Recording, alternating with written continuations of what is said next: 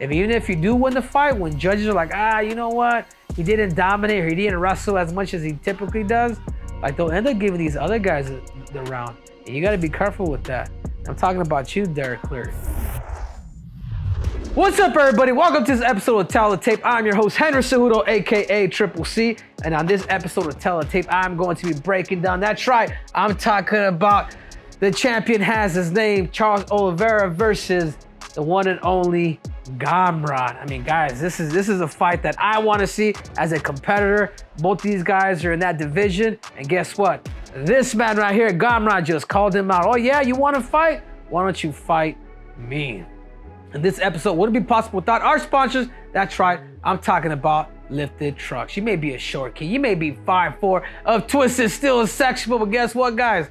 Out on the street, I'm about 12 feet damn tall. So you guys make sure to go to liftedtrucks.com and get your lift on. Here we have it, Charles Oliveira. Woo! 45 fights. That's crazy. Is my math right over here, guys? I'm typically terrible speller, terrible with numbers, but 45 fights. I mean, who would have known this man has that many losses? But he's also been in the UFC, and all the majority of his damn fights are all in the UFC. And again, against a very against a gamer in Gamrot, 24, 2, and 1.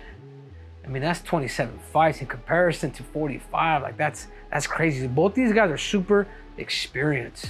10 KOs for Charles Oliveira to 21 submissions. I mean, you guys look at that. To three decisions. And now we have, you know, Gamrot. Eight KOs, five submissions, and 11 decisions. I tell you what, man, sometimes people can kind of tend to frown upon this a little bit. But these are the guys who are the most dangerous. These are the guys, these are like the Merabs that don't necessarily finish you, but they just understand that threshold. And, you know, Gamrot is one of them. He understands where is it that he has to take his pace and he's able to win. A fight that really surprised me with Gamrot, I will say is, and I became a fan of him, when when he fought Arman Tsarukyan. And how's it that he was losing that fight, and all of a sudden, boom, he started, he pretty much took the fight, stole the three. I, I want to say he he stole the fight in the middle of the fight, and he just it just showed that this dude is an actual winner. 5'10 to 5'10, 74 to 71 inch reach advantage. And the older and Charles Oliveira. I tell you what, man, Charles must really love his family. Like I, I love my mom, but I wouldn't want to see her every day. But this dude, I admire that from Charles Oliveira. But without further ado, man, the champion has his name. His name is Charles Oliveira. His strengths, his clinch work, man. His clinch work, what I mean by clinch work, he likes, he'll throw, he'll clinch you, he'll like to throw knees, he'll go for takedowns, and if you guys didn't know, he'll pull guard. And this is the stuff that makes a guy like Charles Oliveira very dangerous. His stamina. You know, the fact that, you know, watch that fight with Justin Gaethje. When, I, when I'm talking about stamina, I'm talking about his ability to actually take a hit, go through punishment, and, and, and continue the fight. His submissions. I mean, 62% of his wins come via submissions. I mean, can you guys believe that? 62% of his wins come via submissions. I mean, that's a grip, guys. I mean, talk about having a lot. I mean, 62%. Like, he's probably the greatest, no, he is the greatest submission artist of all time. I want to say he's up to like 20 submissions in the UFC, something crazy like that. Yeah, oh, there it is. 31 finishes. Only three wins come by decision. 9% of his racial. That's absolutely nuts. This is a guy that can beat anybody because of that sense. Because you know why? Because he's a risk taker.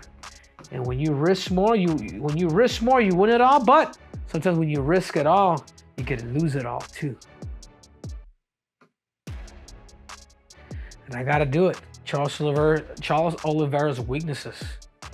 Striking defense. You know, and particularly I gotta nitpick guys. And again, guys, like I'm I'm fair with everybody, dude, whether it's Jon Jones, who I just did a breakdown on, or or myself. striking defense. Sometimes he'll get into that pocket. He'll get this close when he's so rangy and he's got he's fast and like he'll literally be in a he'll, he'll stay in the fight zone a little too much like he did with Islam and Islam was literally able to take him down. You know.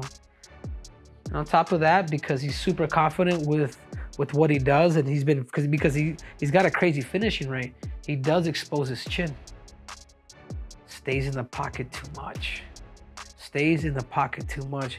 He'll bring the fight. His defense a little suspect because he's in the line of fire. He's always looking to submit. It's almost like he's fell in love with winning bonuses, and I would too, man, if I had those those damn abilities. Quite honestly, but he's he stays in the pocket a little too much, and that's the stuff that gets him in trouble.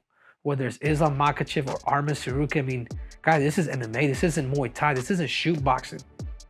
This is MMA. You will get taken down. That's a lot of his losses come from him you know, bringing the fight and and and staying in that pocket a little too much. So you know, the last thing is coming off of a tough title loss. You know, he lost to the contender. I mean, what does that do to his career? I mean, how how's it? What's his head like? I mean, nobody wants to. Like even myself, man, losing two in a row is like, man, I just think about going down the damn line and fighting all these guys. Like you start to like, hey, you know what, man, just give me give me some money fights. You know what I'm saying? And that's just the reality. I mean, he, he said it. Give me Kamaru Usman. Give me, give me these fights where I could still stay big. You know, let me go for a BMF. Let me, let me do what Max Holloway did. You know, being being at the top tier, but yet not getting a chance to fight for the title because I've had so many opportunities. But coming off that loss, man, that says a lot. And we'll see. We'll see how we'll see if Charles Oliveira can get back on that horse and reclaim that title once again. And now let's switch over to the one and only Mateusz. Am I saying it right? Mateusz Gamrot. His strength, his wrestling, man.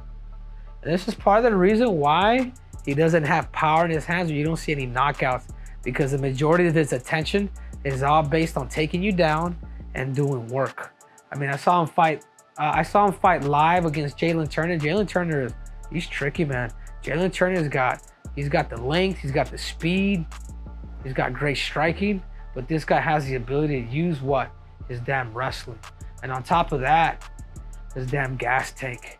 Guys that just use grappling and wrestling to be able to kind of take them to where they want to get to typically have a high volume. I mean, their volume is so high is because that's all they do is wrestle. And if you guys know, wrestling is a very tiring sport, and particularly when you fight, but when you just deal with that and you know that, and that's what makes this dude dangerous. He's never been KO'd, never been submission. I wish I could say that. I really would. I really wish I could say that. You know, getting dropped to the knees. I mean, oh, so terrible. I don't even want to, you know, I don't even want, want to remind myself, but that lets you know there's a durability to him. And he's a diverse finisher. He's looking for those submissions from different angles to catch you and eventually put you away. Yeah. Gamrot's weaknesses. Lacks head movement.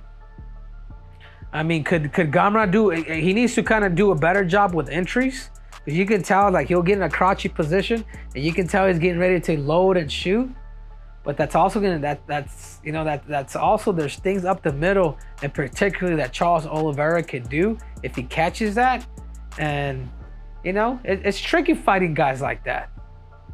And then tactically, as you know, when he fought Beneil Dariush, Beneil Dariush knew that he was going to wrestle.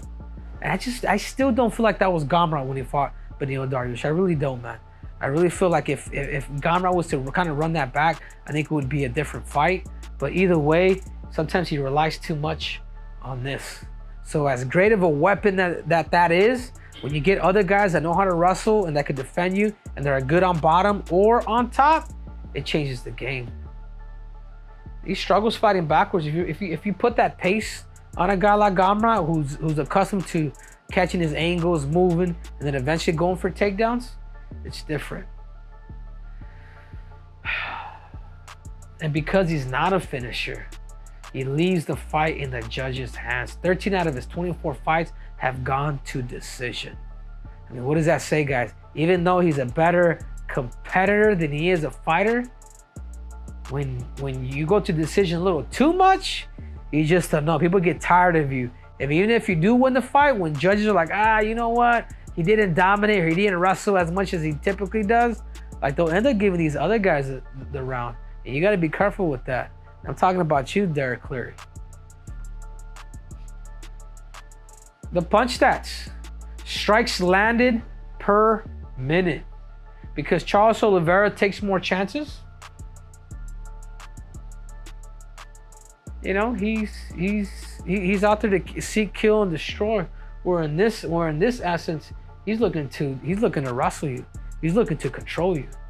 Strikes absorbed per minute. I'm talking about defense. And if you guys notice too, the guy that takes more chances typically is the guy that gets more hit. So for that reason, because this guy wrestle, his defense is actually better. Takedown accuracy. Damn. Wow. Were you guys expecting this? I wasn't expecting this. I for sure thought, boom, this guy was gonna get it. It's somewhat kind of even, but Charles Oliveira's wrestling is super underrated. Takedown defense, 55% too. Godly, 91%. He's got a better ratio than me, and I, I feel ashamed of that. When I came back, I should have never came back. Then I'd be at 100% because nobody took me down. Nobody, nobody took me down prior to me retiring. That's what happens, guys. You know, want to sleep in silk pajamas? Balau! Woo! Submission average. You got to go with Charles the Bronx. I mean, the guy that has the most submission attempts and the most submissions in UFC history. Not just that, but the most submission attempts too. And that lets you know that he's coming from every angle, very diverse. But when I see this fight as a whole, and again, guys, just not biased. I'm not even. I just want to say that more like who is this actually going to be favored in this fight? Charles Oliveira is very witty, very dangerous with the strikes. But if I am Gamrot, I'm looking back at the fight with Islam Makhachev with the wrestling.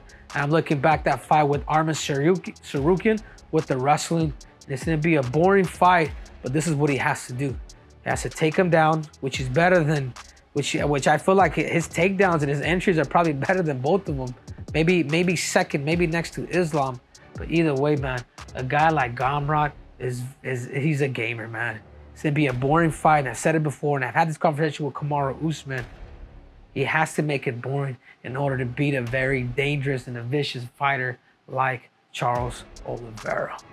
So for that reason, guys, I think the favorite in this fight, as much as I love Charles the Bronx, I like them both, man. I'm a fan of both of these fighters, but because he is a lot more basic and he has great wrestling, number one, and number two, he also understands the submission game and he trains at one of the best clubs in uh, the best gym in, in the world in ATT. So he's gonna get that feel and guys that move just like him.